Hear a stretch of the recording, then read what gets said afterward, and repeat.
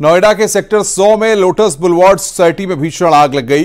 बताया जा रहा है कि एसी की इंडोर यूनिट में ब्लास्ट होने के चलते आग लगी घटना की जानकारी मिलने पर पहुँची दमकल विभाग की टीम ने कड़ी मशक्कत के बाद आग पर काबू पाया। थाना सेक्टर उनतालीस क्षेत्र की यह घटना है। टावर 28 के दसवें फ्लोर के फ्लैट में यह आग लगी। ग्यारहवें फ्लोर तक ये आग पहुँच गई। वो तो गनीमत रही कि वहाँ पर फायर फाइटिंग सिस्टम ठीक से काम कर रहा था। इसलिए समय रहते आग पर काबू पा लिया गया। दो लोगों को सुरक्षित बाहर निकाला गया। चीफ फायर ऑफिसर ने लोगों से अपील की है कि वो 24 घंटे एसी न चलाएँ। एसी को बीच बीच में थोड़ा आराम भी दें। ये आग जो है स्प्लिट एसी में लगी थी। इंडोर यूनिट के नीचे टेबल रखा हुआ था। उससे आग जो है पूर्णतः जो है पूरे रूम में फैल गई। पर अच्छी बात यह रही कि वो आग जो है एक ही रूम में फैली, उससे आगे बढ़ नहीं पाई। सभी लोग सेफ़ हैं? जी, बिल्कुल, यहाँ पे जो सभी लोग सुरक्षित हैं, किसी को कोई इंजरी नहीं है, कोई भी जनहानि नहीं है, परंतु मैं आपके एक श्रोतागण से मैं एक गुजारिश करूँगा, एक निवेदन करूँगा कि देखिए, ये एसी जो हैं, अभी बाहर का तापमान बहुत ज़्यादा है, सभी लोग एसी जिनके पास हैं, वो चला रहे हैं। एसी का निरंतर सर्विसिंग करा लें एसी को ब्रेक दे के चलाएँ 24 घंटे एसी को ना चलाएँ, क्योंकि गर्मी की वजह से आग लगने की घटनाएँ लगातार सामने आ रही हैं। बरेली जंक्शन पर मिलिट्री के एसी का कंप्रेशर फट गया। एसी का कंप्रेशर फटने से अफरा तफरी मच गई। लोगों ने भागकर अपनी जान बचाई है। चंद मिनटों में आग ने विकराल रूप ले लिया। बिजनौर में बैंक्वेट हॉल में भीषण आग लग गई। आग लगने से हड़कम मच गया। शॉर्ट सर्किट के चलते आग लगने की आशंका जताई जा रही है। जबकि लखीमपुर खीरी में भीषण गर्मी के चलते रोड पर चलती बाइक में आग लग गई।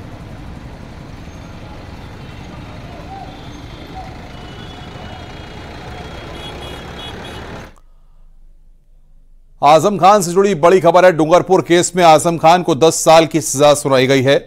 एमपी एमएलए कोर्ट ने 10 साल की सजा सुनाई है। साथ ही आज़म पर 14 लाख का जुर्माना भी लगाया गया है। तो एमपी एमएलए कोर्ट ने 10 साल की सजा सुनाई है। ये बड़ी खबर हम आपको बता रहे हैं। डूंगर पे है। एमपी एमएलए कोर्ट ने 10 साल की सजा सुनाई है।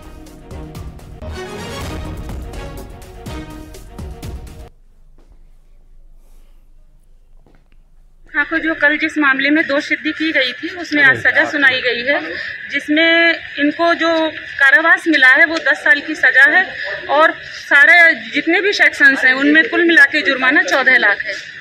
मामला क्या था? ये जो मामला था डूंगरपुर बस्ती से संबंधित मामला था जिसमें वादी अबरार द्वारा एक मुकदमा लिखवाया गया था थानागंज पर। 2019 में घर में घुसकर लूटपाट करने का जान से मारने की धमकी देने का घर को तोड़ देने के संबंध में और ये सारे आरोप उनके द्वारा लगाए गए थे, जिनको कल माननीय न्यायालय द्वारा साबित पाया गया है और इसमें आज सजा सुनाई गई है। कानपुर में एक अधिवक्ता पर ज़मीन कब्जाने और पैसे हड़पने का गंभीर आरोप लगा है।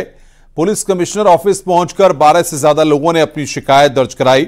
पीड़ितों ने पुलिस पर भी मामले में लापरवाही का आरोप लगाया है। पीड़ितों ने बताया कि इस केस में पुलिस को कार्रवाई अब तक नहीं करने दिया जा रहा, पुलिस कोई भी एक्शन इस मामले पर नहीं ले रही है। पैसा जो है, एलएनएस मनी मल्टीप्लायर में लगा और उन्होंने बोला था कि मैं शेयर में जो प्रॉफिट होगा, मैं दूँगा। मैं लक्ष्मी नारायण शुक्ला के ज़िंदा रहते, मैंने उनको बोला कि भैया आप मेरा पैसा वापस कर दीजिए, मुझे काम है। ये लोग डिफ़ॉल्ट कर गए, नहीं पैसा दे रहे थे। इन लोगों का हड़पने का पैसा इच्छा ही था। ये कंपनी बनी नहीं थी। ये प्रोपराइटरशिप में कंपनी थी। एक फर्जी कंपनी इन लोगों ने बनाया था जो स्टेब्लिश इन्होंने किया था जिसके नाम पे ये पैसा लेते थे उसमें पैसा नहीं जमा किया थे। पैसा तो लगभग जितने लोग थे उसमें तो 200 करोड़ रुपए का आकलन था। कितने लोगों ने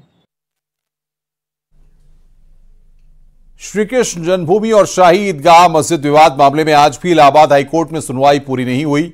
मामले में सुनवाई कर रही जस्टिस मयंक कुमार जैन की सिंगल बेंच ने सुनवाई शुक्रवार को जारी रखने का आदेश दिया है। मुस्लिम पक्ष की ओर से एडवोकेट तस्नीम अज़ीज़ अहमदी ने वीडियो कॉन्फ्रेंसिंग के ज़रिए अपना पक्ष रखा। आज हाईकोर्ट में सुबह दस बजे से दोपहर एक बजे तक सुनवाई चली है। अब कल फिर से सुबह दस बजे से मुस्लिम पक्ष अपनी बची हुई दलीलें पेश करेगा। हालाँकि हिंदू पक्ष की दलील है कि पोषणीयता की अर्जियों पर सुनवाई जल्द पूरी की जाए। हिंदू पक्ष ने कहा कि मुस्लिम पक्ष बेवजह अपनी बहस में रिपीटेशन कर रहा है।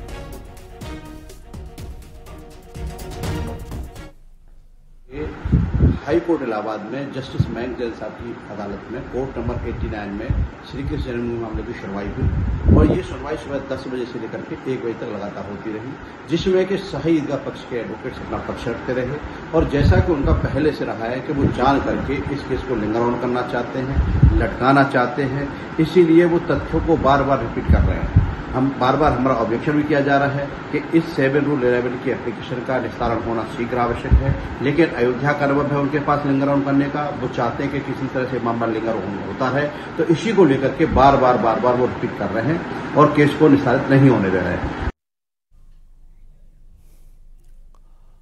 रुक रहे हैं यहाँ पर एक ब्रेक के लिए। खबरों का सिलसिला लगातार जारी है।